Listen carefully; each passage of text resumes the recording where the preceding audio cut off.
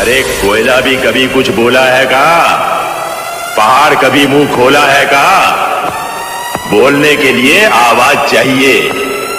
ये ससुरा आवाज़ कहाँ से लेके आएगा? ये तो बेचारा गूँगा। से पहले एक जानलेवा खामोशी छा जाती है। तुम हम अल्फाज पसंद नहीं करते। हम तुम नहीं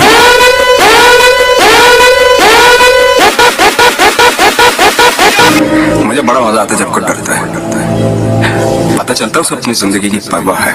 और जिसे ज़िंदगी की परवाह होती है, माँ कसम मारने का मज़ा उसी